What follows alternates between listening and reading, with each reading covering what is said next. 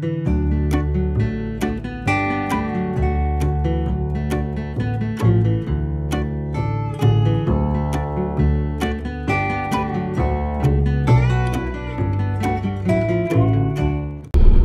morning from Saskatoon, Saskatchewan. I'm here with my dad, Gordon. Say hi. Hi. Gordy Magoo, as his nickname stands. So you labeled me. Today, guys, we are actually starting our Saskatchewan road trip, which is something that I don't think we've ever really done, right? Not too much, no. Yeah, and where we're actually heading to first, like our final destination. Oh, what is happening here?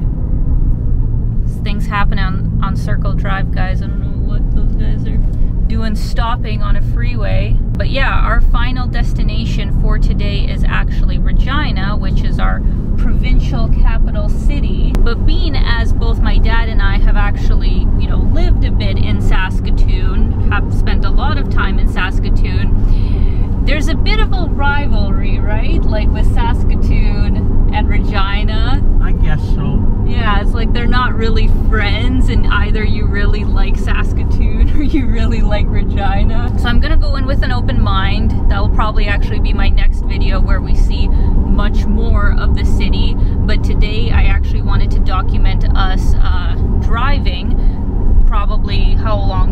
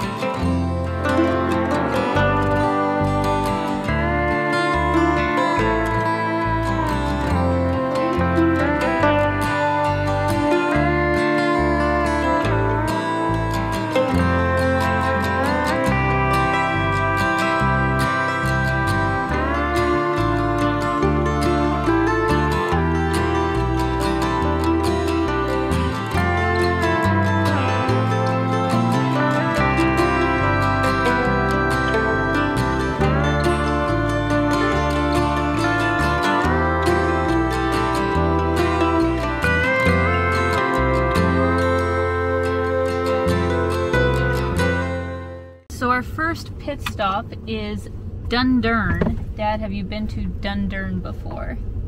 No. Uh, yeah, so this is a small town just outside of Saskatoon, and I was curious, you know, of what's here. I've never stopped here, and I thought we should grab lunch here instead of just in Saskatoon. And it looks like there is this really famous place called Big Murs, which is a really interesting tavern. So I thought that we would give this a go.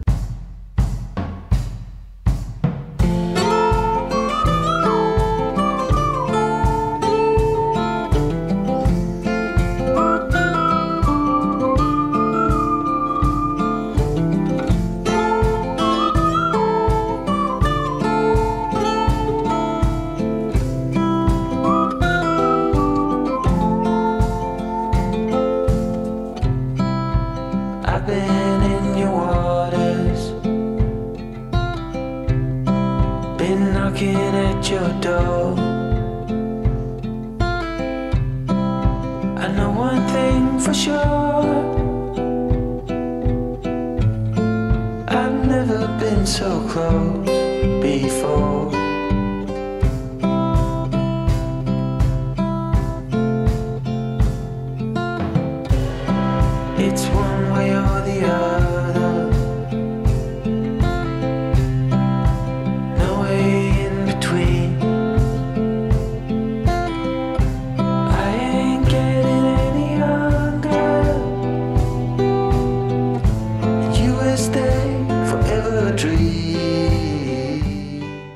I ordered the fish and chips thinking it came with just one piece Or of fish. and yeah, this is gonna be a lot of she said- leftovers. And then, Dad, you got the veggie wrap, right? Yes. You got all healthy here. Yeah, all healthy. We're going to share. Yeah, and uh, what was the one questionable item that is on the veggie wrap, Dad? Shit flowers. And what is that? Mushrooms. That's a Because hilarious the waitress name. said the boss doesn't like it. And it grows mushrooms grow in shit. That's awesome.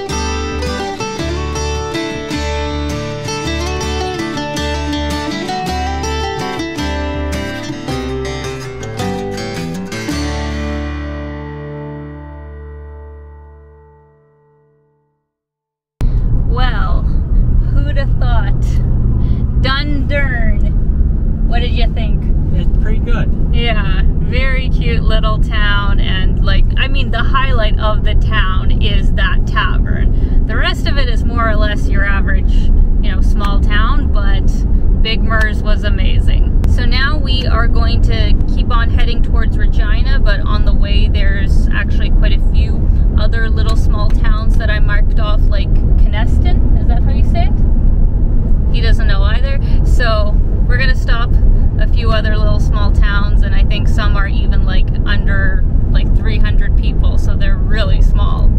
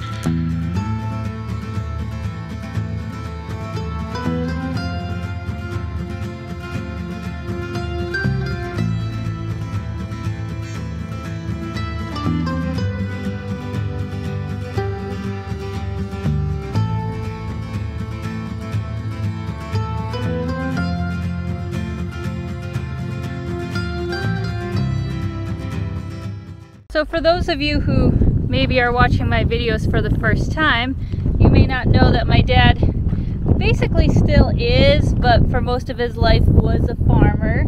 And dad, uh, can you tell the people what these big buildings are usually used for? Well, they used to be used for grain elevators. The company buy them from the grain from the farmers, and then they ship them out on rail cars on the railway to the west coast to the grain terminals to ship to other countries. But now, as we've seen in a lot of like smaller towns, a lot of these grain elevators are actually like not in use anymore, right? Yeah. And so what do they use them for now? Well, certain local farmers bought them and used them for their own use. Like storage of their grain. Yeah, storage Yeah. of their own grain. Yeah.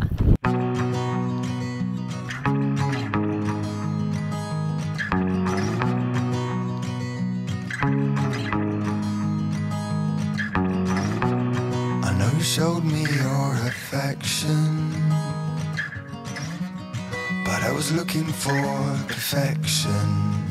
So I moved on and on and on to someone new. As if no one knew what I was going through. I know you think I'm just pretending. And that I can't rewrite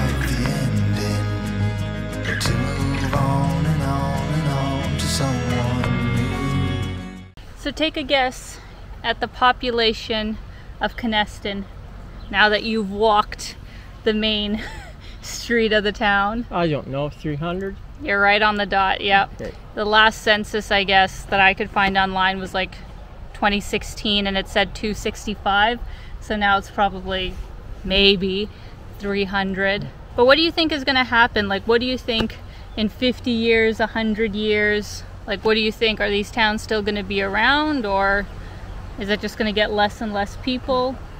Well, the way it's going, it's getting less and less. Maybe uh-huh. the city people want to get out of the city and come back to smaller places. Who well, knows? that's true. And actually, my dad had mentioned this on the live stream that we were doing in Saskatoon is you just sold your place in the country and there was some people from Ontario who I guess are from Burlington. Or Kingston, near Kingston, I guess. Was. Sure, sure, close to that area. Toronto. They decided to come out here because they wanted some peace and quiet. Yes.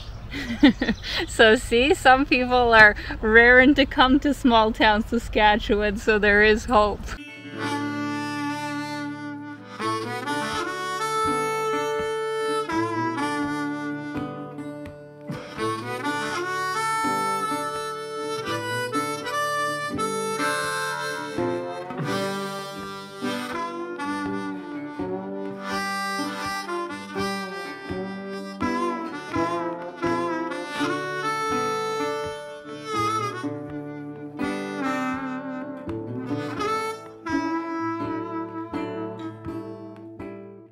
It is about 6 p.m. and we are getting to our last small town on this trip.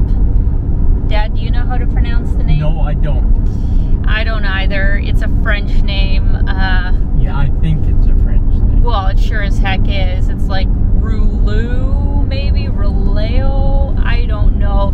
Anyways, it is the town where the famous Saskatchewan sitcom Corner Gas was filmed. To be honest, I'm not sure if we're gonna come across like the set of the show because the show ended, I think, in 2008, 2009 or something. Do you remember?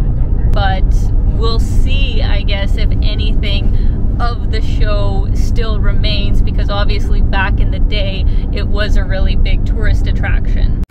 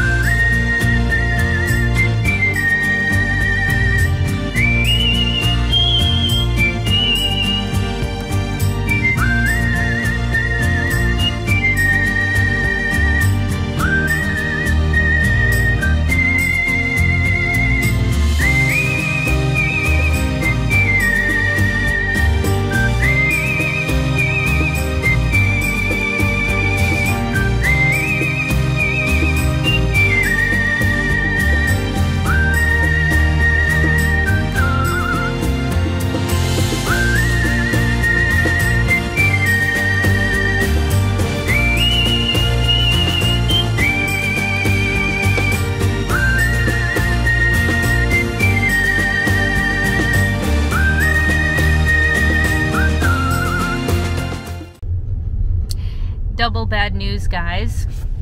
Number one, we just got to the town Relu, if I'm saying it correctly, and on the way here, I, I guess I should have checked this more thoroughly, but I didn't know that the actual set, the main thing that I came down here for, they took down in 2016.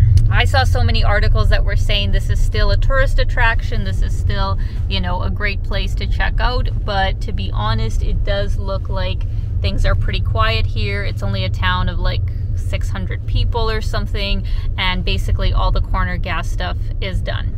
So that's disappointing, uh, but more important, the second bad news of why I can't actually really show you guys what there even is here is because I just got a severe thunderstorm slash tornado warning on my phone for this area that we're in. So even though it looks fine now outside, I think we should just head to Regina because we are still like a 40 minute drive away.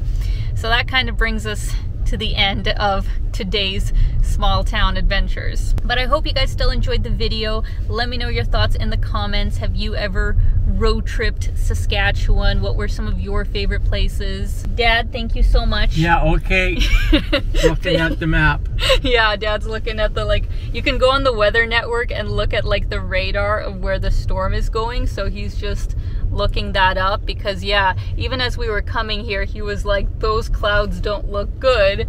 And I was like, what are you talking about? Like, they're fine. Like, it's really sunny and nice out. Sure enough, there could very well be a tornado or hail, so we should get under, you know, coverage as soon as possible. So thank you guys once again. Hope you're having a fantastic day and the next video you see will most likely be a Regina. So stay tuned and keep being your own kind of beautiful.